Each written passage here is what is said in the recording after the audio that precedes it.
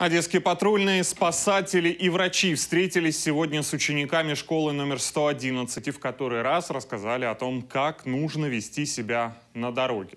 Подробности в сюжете моей коллеги Мишель Арманд. Для деток начальной школы правила дорожного движения преподносят в виде игры. Ребята с удовольствием принимают участие, делятся своими знаниями, отгадывают хитрые загадки и получают призы.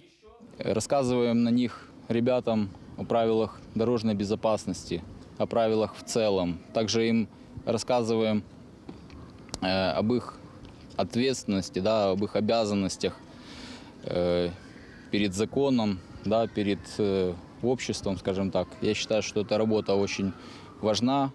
Учителя рассказывают, что воспитательные беседы на тему безопасности проводят каждый день. Изучение правил дорожного движения, предупреждение дорожно-транспортных происшествий – это задача номер один для каждого классного руководителя и для каждого администратора в школе.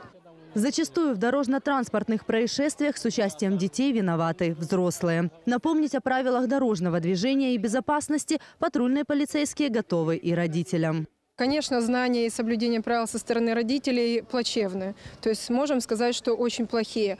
Особенно те, которые были за рулем транспортных средств. Те, которые вели детей в школу, то соблюдали правила, переходили дорогу в установленном месте, на светофоре, то есть и благодарили нас за ту работу, которую мы проводим воспитательную с нарушителями.